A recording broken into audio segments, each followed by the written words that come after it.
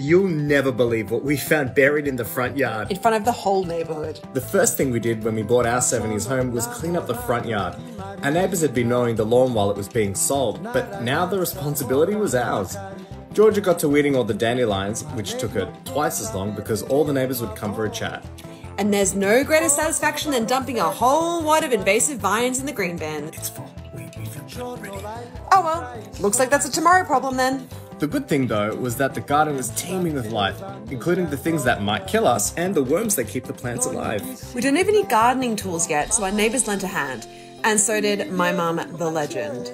Our neighbour even lent us his old farming tools from Sicily to remove these dead tree stumps. He disapproved of Mete's technique though, telling him it was clear that he had never worked on a farm. Of course not. Look at these milky lily pads. But shortly after, Mete dug up a discovery an 18 carat gold wedding ring buried in the roots of this 30 year old tree stump. I couldn't believe it when I found it. It was beautiful. It couldn't be Giorgio's ring, could it? The 99 year old man who built this house for his family?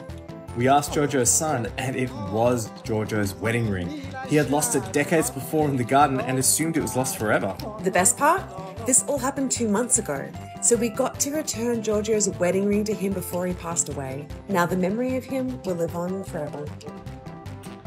It turns out this long haul gardening uh, adventure was uh, definitely worth it in the end. yeah, finding a wedding ring. And yeah, it's thir- 30 years old, or yeah, however old it is.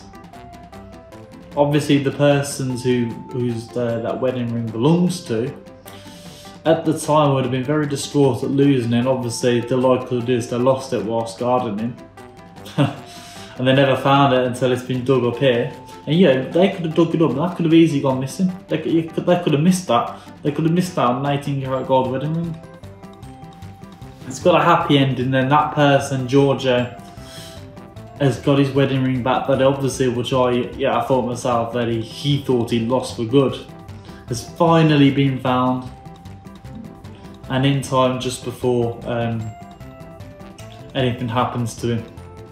Yeah, really sweet. What a discovery though, you wouldn't expect that though, would you, at all? Like, at even the start of the video, okay, yeah, that they've got, you'll never believe what we found. But you would not have guessed the wedding ring.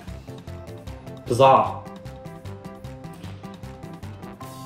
I was going to expect like a treasure chest or something stupid like that.